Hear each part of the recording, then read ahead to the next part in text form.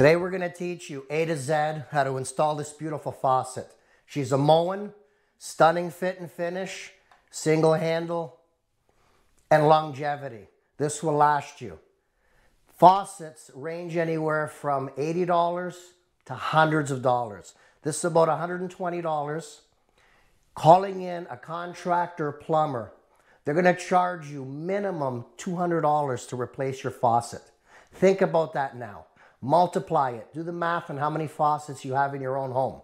Skill level from 0 to 10, this is about a 5.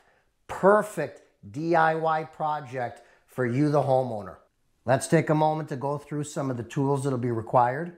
Obviously, your faucet, uh, Bob's top pick, the Moen. To the left, you're going to need some water pump pliers. To the right of that, two different sized, large and small, adjustable wrench. And then the final item is the flexible supply line hoses. These do not come with faucets. Sometimes for a kitchen faucet, they may come with it, but they're permanently attached to the body of the faucet. So when you're out shopping, make sure to read the package. That way you know if it comes with water supply lines, and if it does not, always buy the top pick. Steel, metal, braided supply lines. Talk about the variety of sinks that you would be installing your faucet in. As you can see, this is a three-hole sink. Some of them have a single hole in the center. The style trend, design trend these days is to have a single hole in the center. That way the faucet rises nicely, neatly out of it without the need for an old world deck plate. However, if the sink has three holes, you must install the matching faucet, which would have a deck plate. So again, this is important. Make sure you know what type of sink you have or what type of sink you'll be purchasing. A smart move right now would be to pre-install the supply lines onto the faucet body before installing the faucet into the sink. Otherwise, you're going to be laying on your back under the countertop installing these. Now, this isn't always possible depending on the size of the holes in your sink. But first, we're going to attach them by hand. I'm working with my left here. It's awkward, so I don't block the view for those of you at home.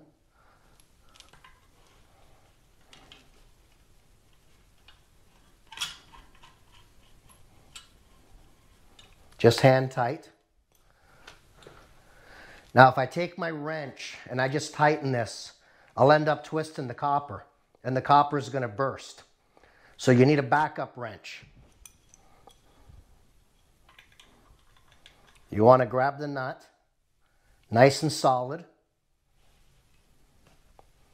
Grab the other one, which is the nut that's a part of the fill hose, and tighten. Constantly keeping pressure on the small wrench so that you don't end up turning the copper line. Okay, that's tight. Now I'm just going to give it one more snug. There we go. Same thing on the other one. Now we set this in the sink. Let's crawl underneath. All right, we're to do our best here to give you a bird's eye view. We're under the faucet. We're not going to worry right now about centering it. Now, for those of you at home, this will be a little uncomfortable. But think about all the money you're saving. This is the washer. This has to go in first. There's the thread for the faucet.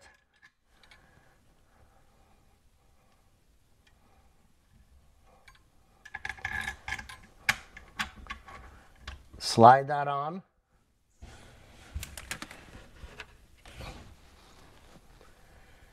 There's a secondary washer. Slide that over the thread. And then there's the nut.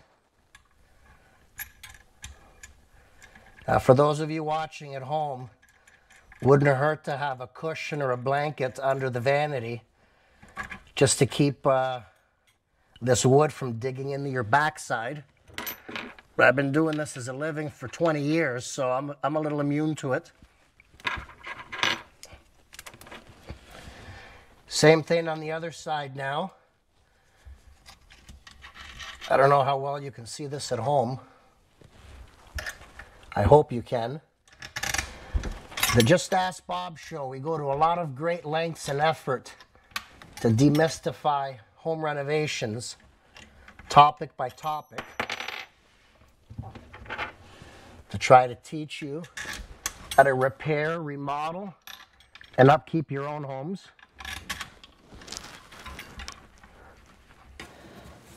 So you can see it's a little awkward working under here.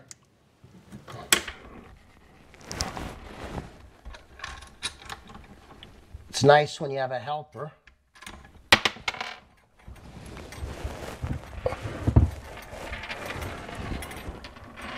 It'd be nice if I didn't keep dropping things.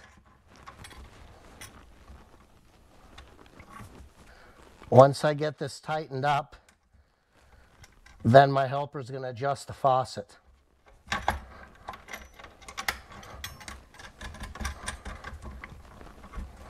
Okay, Nick, for the viewers at home, make the faucet look completely crooked. Pretty crooked? Okay, that's not how you want to leave the faucet installed. That's why either you're going to climb in and out or you're going to have a helper on top. Okay, Nick, straighten it up for us, please. Once you have it straight, Nick, sight line it. Get a good look at it, and, you know, sight line your eyesight to it. Make sure it's perfectly straight. Okay, stay there a moment, Nick. So that's straight, right? Okay, give it some pressure. Just while I tighten these up. Gonna use the small wrench.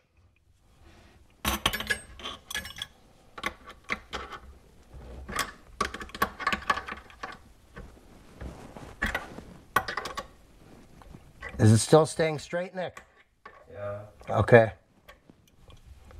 And the same thing on the on the right side?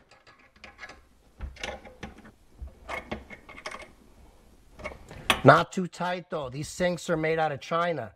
Not in China, but out of China. Uh, so you don't want to over tighten it because you could crack it. Okay, next we connect the water lines.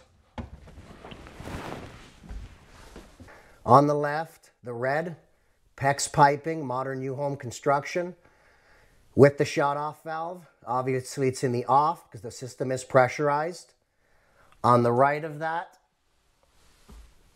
you can see the blue water line with the shut off. Now we're on the second last step. We're attaching the flexible supply line to the shut off valve.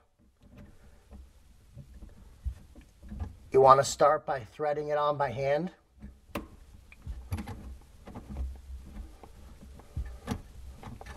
Keep it nice and steady, Nick.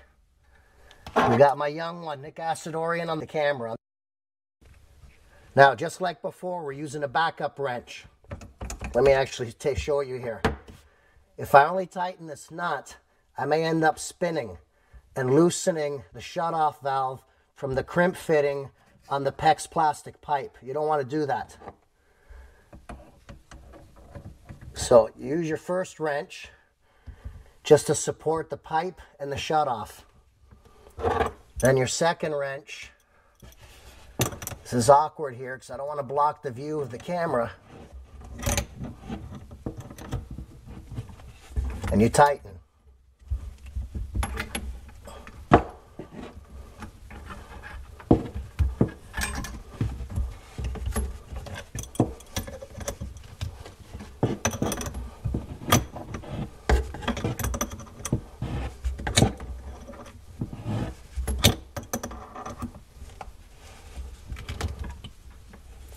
Nice and snug.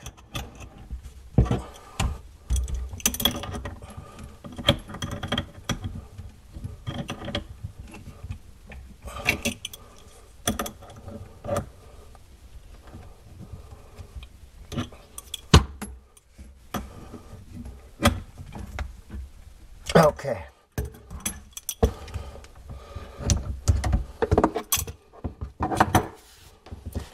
Same thing for the other side, and then we're going to show you how to attach the strainer.